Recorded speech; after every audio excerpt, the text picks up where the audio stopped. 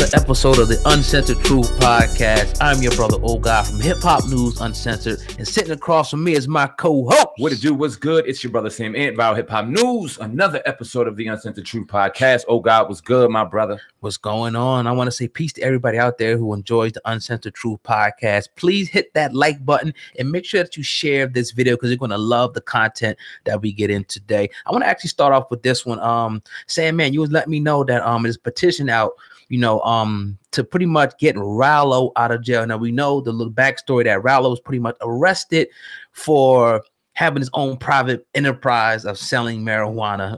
Obviously, they call it illegal, but he was caught with one million dollars, you know, worth of marijuana. So, Sam, and um, tell us about the petition that has, has been started to free Ralo, or at least give him at least give him bond. Yeah, absolutely. Today, a new petition has began to circulate with the intention of ensuring that incarcerated rapper Ralo was granted bond. Now, we know in April, Ralo was arrested on federal charges for the intent to distribute marijuana after authorities discovered one million dollars worth of marijuana on an airplane, but we all know what it was intended for. He has something going on. I believe it's in Louisiana, if I'm not mistaken, mm-hmm. where he funds and houses an um and deve- development. It's, it's in Georgia. Yeah, it's in Georgia. Right. Right. Yep. So yeah, he's doing his thing down there to help people and kind of just taking um taking it in within his hands mm-hmm. to take care of his people where other people won't. Now, right. a lot of people in the comment section, because we talked about this when it initially happened, and we got a great response for it. Shout out to everyone that gave us love for it. Yes, yes. Um, but we did have a lot of people out there who said this is Ralo's doing it. This is his fault. He knows better.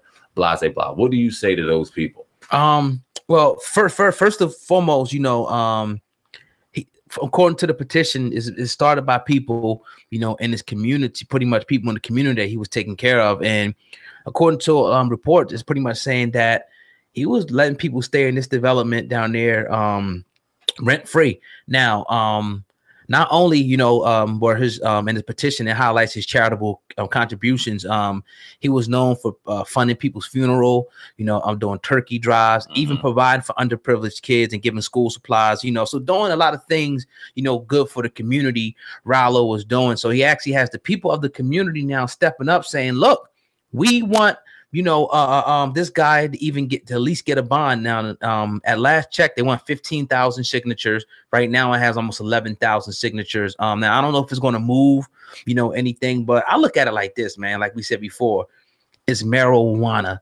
Now we can get into the, all the the, stu- the studies and you know uh, um, the things that it helps and all that, but it's just like you go to one state, and again, I, I keep saying the same thing because it's real and you got people making becoming millionaires off of this but over another state this man has found a way you know um to take this money and he could be doing a whole bunch of other stuff with it but he's actually helping people according to the people and now he's being arrested. And okay you're arrested but now you don't give him bond. I think it just shows you know how the system is very very flawed at the end of the day because it's, it's marijuana. It's not heroin. It's not cocaine. It's marijuana period the, the problem is he's making so much money from it that they can't control it and they can't right. tax it and they have a big ass problem with that. We all know how Uncle Sam works when it comes to his money. Yeah. And it isn't it isn't the fact that it's marijuana. It isn't the fact that he's out here helping people that they have no interest in helping whatsoever. Mm-hmm. It's the fact that he's making so much money and they don't even give a fuck what he's doing with it. Whether he's buying guns, just they don't care. Mm-hmm. It's the fact that he's making this money in such abundance they can't control the product,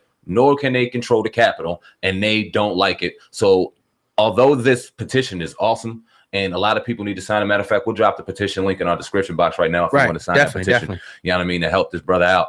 But i don't know what it's going to help he's, he's under federal charges right now and they don't care what it is. They don't care how much we talk about it. They don't care how much marijuana helps. They don't care how much you talk about as far as state lines. Somebody making mm-hmm. millions of dollars a year in investments and things like that from marijuana, and then somebody can do time for having under an eighth of marijuana in another state. Mm-hmm. It's they they don't want they don't care about that. All they care about is his brother doing time, man, and it's unfortunate. But shout out to Ralo, man. Keep your head up, brother. You did some great things out in the state of Georgia for your people, and it's being noted and highlighted out here, man. Know that.